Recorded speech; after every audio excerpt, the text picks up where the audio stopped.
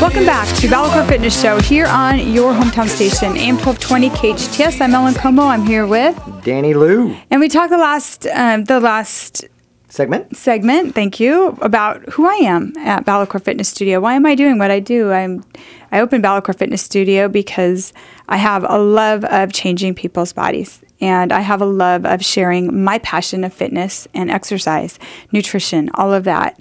I love teaching I love helping, and my greatest love is seeing the changes in my members. That to me is the most fulfilling thing that I could possibly see, and being able to support them in a really balanced way. No yelling, no screaming, just lifting them up when they need it and pushing them when they need it in, all the, in the proper way, though. And so, Danny, um, I met Danny. I was training him, and he started to really like the BalaCore and just loved the results he was getting because he came from a gym where he was getting hurt a lot, and now he wasn't getting hurt. He was getting stronger. I was teaching him about proper nutrition, which I don't know why he wasn't doing that before, but that was um, he can answer that question. And then all of a sudden, now if you see Danny, who's going to be in our up- upcoming ad, you're going to see the way that he walked into my my gym and how he looks now, which is why we became partners. So go ahead, take it away, Danny. Well, thank you. So she became a partner because I lost the weight. So we'll go with that. Just kidding. So, anyways, no, I was um, working at the other gyms and uh, all around like normal people, and I could do one or two classes, and um, a lot of the you know like P90X type CrossFit, all those were the the trendy things, and so you just go along with it. And I just think we don't know, and um, even when I had was going to two or three different gyms at the same time, you try different classes, and they just, some people just say, "Hey, push through the pain," and there is where there's pain, and then there is um, like when you're lifting and it's hard to lift, and you can push through that. But if it's pain, you really shouldn't be pushing through that, and they should modify as we do in our gym. So I was just always hurt. My uh, groin, my groins, and the what are those called? The uh, hamstrings. Uh, hamstrings have always been hurt, but just uh, my body was like my back, everything is just I was a mess. Just always taking Advil every day for probably a year straight. Just thinking this is the way it is. My um, elbow. elbow. Thank you. oh, we're gonna play Operation. My Operation point to the elbow. So my elbow ha- was having like pains in it, and when I actually came um, to BalaCore, all those were um, happening. So started slowly but surely. I've never had any, you know, ab muscles at all. It's always been like a Buddha belly, you know, Asian little Buddha belly there, and it's great because I like my ice cream at night, just a little bit of Ben and Jerry's. Um, and because uh, I'm 50, I'm 51, and so you know, I work hard at work, and I do go to the gym, and so to ban everything that you possibly have. So I just started, uh, I just dropped off having French fries, I think, uh, two years ago or whatever it was, a year and a half ago, and so I just started stop that part of it, and then about almost two years ago, January, I think, I think it was two years ago, um, after one of my son's tours, and I was drinking a lot of sodas. Um, I just stopped drinking soda. And he, my son even said, Derek Luh said, why do you drink that? You're gonna like kill yourself and yep. you eat this and you work out and stop. It that. was so, Diet Coke, by the way. Diet Coke, yes. So I did that, and then so that's one thing. Other thing I gave up, and so I haven't had that in a couple years, and um, don't miss it. Um, so uh, there was an opportunity where um, Ellen's partners uh, wanted to sell, so I bought into the BalaCore. So I actually own um, part of Ellen's company. It's Ellen and our company um, with another other person, and um, we make the BalaCores.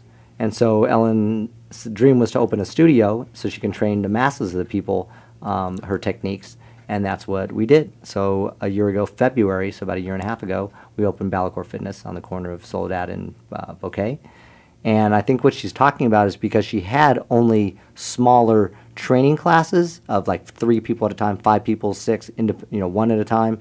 She couldn't see the amazing transition that literally when you have 20 people coming every day and all of a sudden you look at them like literally a week later and you're like whoa.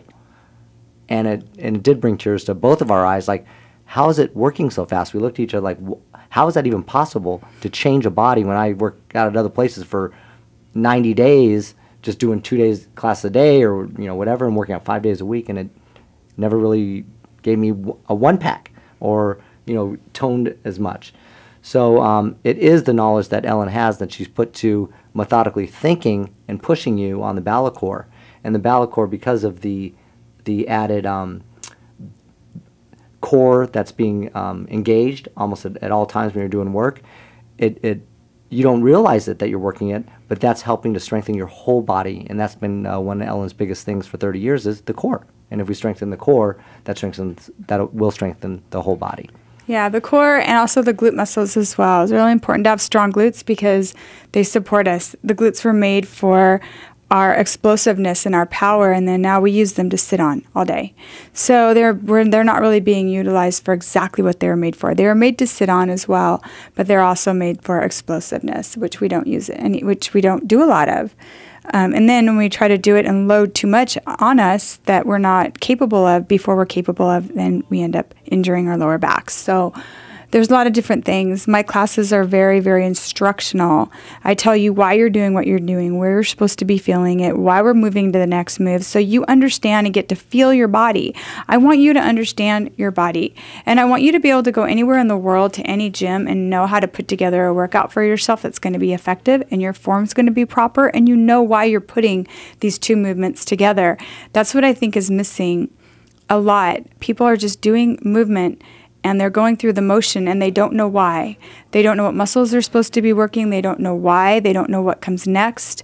They don't understand the sequencing of how a body functions. And I think as trainers and as fitness experts, it's our job to be able to be teachers as well. And I take that very seriously at BalaCore Fitness Studio. We're going to be right back. This is Ellen Como and Danny Luh on your hometown station, AM 1220 KHTS. You're listening to BalaCore Fitness Show here on your hometown station, AM 1220 KHTS. I'm Ellen Como. I'm here with Danny Luh is in the house too. And we're talking about BalaCore Fitness Studio today. The studio, The actually, studio. where we uh, change bodies and you know change minds too. And hearts. Yes, that's Yes. correct. Yes, hearts too. So, you know, how we, we set up the studio is when I thought, when I sat down and really considered, like, how do I want to put this together? Why, how do I want to make this different than other studios that are out there? And how is this going to be unique to what I do? And I don't get watered down in it. And that was a very important part of opening this studio. So I planned the classes a little bit different than most gyms do. I plan my classes like if I was your personal trainer and you came to me every day at 5:30, what would I do with you at 5:30? I plan the classes if you come to me as a you know as a and I'm your private trainer at 8:30, how would I what would we do every day?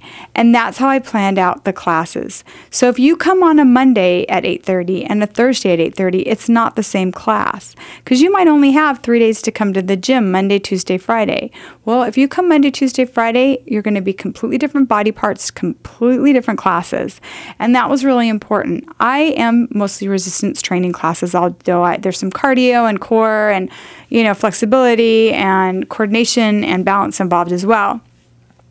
But we have, we also have Robin who teaches more boot camp type classes, and things are more timed and they're more drills. So she teach, te- she teaches that way because that is her method, and she's excellent at it. Probably one of the best that I've done. I've best boot camps I've ever been to. And then we have um, we have great cycling classes too, amazing cycling classes. We also have a kickboxing class that is like no other kickboxing class, I don't think, in this city. It could be, but I haven't seen it yet if there is. It's not the teacher standing in front of the class saying, okay, everybody do this. Everybody is separated into different areas and they're doing different drills and they're learning different parts of kickboxing. It is, I have to say, widely becoming very, very, very quickly one of our most popular classes. Yeah, absolutely. Yeah. And Kerwin runs that class and he does such a great job. He really does. And I have a woman that I talked to a week ago and she just comes in and just does his kickboxing and no other classes. And she's so excited because wh- how- what, you know, she's lost already Four dress four sizes. inch, yeah, four dress sizes, doing just this kickboxing class. Now we do he Kerwin does use the BalaCore for a few things. Yeah. But truly, the results that he's getting, I would love to say, oh, it's my BalaCore, but I can't say that about this class. This class, the reason why people are getting the results is because of Kerwin's sequencing and how he's put his moves together, is why we're getting such great results from. Um, from that class, so it's been really exciting. So that's why, um, like what you were just saying, your sequencing also is very important. Like I wouldn't know as a novice, ten years ago doing the gym. Nobody taught me. I or let's say when when I was eighteen, I just went and I go, okay, bench day, leg day, Right. this day, that day. Oh, throwing some triceps. There was no sequencing telling why you don't do this part this day, why you can't do it two days in a row. There's nobody telling you any of this, and I bet And I, I know that most of society doesn't know that. Yeah. So we're, we just go into, that's why these big box gyms are going, okay, there's all your pull down weights, and they do have trainers that try to teach you, but are they classically trained like you to do the sequencing? Mm-hmm. They might just get a certification for one style. And I, again, I don't know any of that, Yeah. that part of it. That's not my forte. Yeah, get to know your trainer. Make sure they do understand how the body's working. I believe that knowledge is power. And I believe that the more power you have and the more knowledge you have, the better you're going, the better decisions you're going to make for your body. And I think your workouts are going to become much more effective and efficient every single time if you understand how the body functions. When I first people get people in the gym for the first week, sometimes they don't get sore at all because they're they don't understand how to work that muscle yet. And that is, you know, it's a technical term. It's a neurological muscle that they're using. They don't know how to use their skeletal muscle yet. So um, there, there's a learning curve involved. And by the second week is when they truly start to get a lot more sore, unless you're someone that already gets it. Or if you worked out before and you haven't worked out for five years, you show up, you're probably going to get really sore. But if you've never worked out a day in your life, it's going to take a little bit longer for you to start to get the soreness because your muscles really don't know how to work. And a lot of times, going through a movement, and I'm going to share this with everyone listening, going through the motion of a lunge, if you don't know what muscles you're supposed to be contracting and tightening, you're not getting the full benefit of the lunge. You're not. You're going through the movement. A lot of people think the movement is what makes a muscle. The movement contribute contributes to the making of the muscle. It's a contracting and it is the controlling of the muscle that makes a stronger muscle. The movement is only there. That movement only endorses, and that movement only is the foundation for that muscle to be able to work. And I can attest to that for um, even being in a class with 10 people. Uh, show uh, Ellen will ask, Where's everybody feeling it? And, you know, like, could be five of us are like, uh, In our glute, and it's supposed to be in our front quad. So she says, Okay, lift your, your back foot. Do not put pressure. Put it on the balls of your feet or a slight change. And then now do you feel it when you lean forward and go? And she puts you into the, the, the muscle that you're supposed to be working. And it's like almost, it is instantaneous. And that's the thing why she, she's always, and what we do is double check.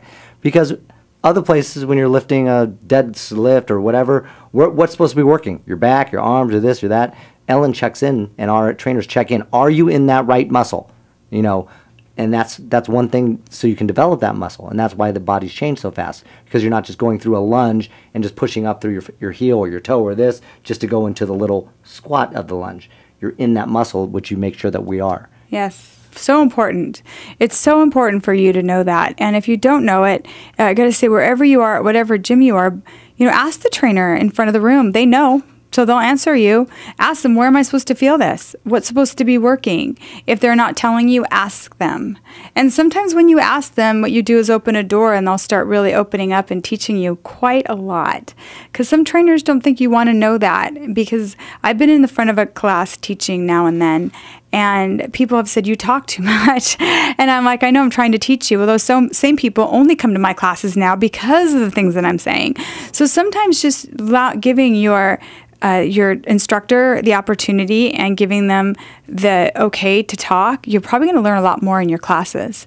We're going to be right back. This is Ellen Como, Danny Luh on your hometown station, AM 1220 KHTS.